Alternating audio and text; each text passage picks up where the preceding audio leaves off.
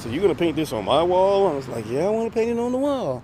And it's like, well, how much is it gonna cost me? It costs you nothing. Just get me a couple of gallons of paint and let me get started and some brushes. So I think they invested probably about fifty dollars. That got me started, and I started painting down here on this end. And once I start, once that gallon, those two gallons of paint, black and white, once they started getting low, I put out an accepting donation sign. And people started coming by, giving me money, paint, brushes. I had more materials that I needed by the time, you know, I was um, halfway halfway through. I had more materials, and um, people were coming by by the droves. I mean, the horns were honking, and even a school bus full of kids came by.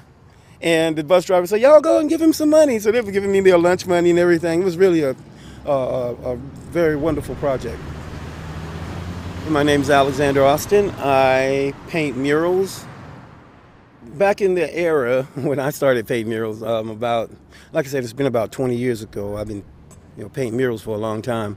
But um, I started, I came out of a homeless shelter. So I wouldn't say it was out of desperation, but I tried to get on at Hallmark and different, like I said, different other advertising agencies and stuff like that. I ended up in a homeless shelter and I started painting on abandoned buildings. Oh, we're standing here in front of the Martin Luther King mural that I painted back in 90, 1993 just last week they had a, a, gathering out here. They've been having little rallies and stuff like that, so the community's really enjoyed it. Um, some of the local um, local leaders here have taken pictures in front of it. Uh, the community's been very conscious about the mural, and they come out here and volunteer, and they cut the grass and take care of it, and and um, so it's it's it's holding on. It's in pretty bit, uh, pretty bad condition right now, but it's it's holding on, and um, people just can't seem to um, get enough of it. And uh, you know, I'm happy because that's was was my vision as an artist is to be able to paint something where people could come just enjoy the artwork and whatever they feel like doing, you know, and uh, make it a, a, a, place where it's peaceful. You know, Martin Luther King was all about peace.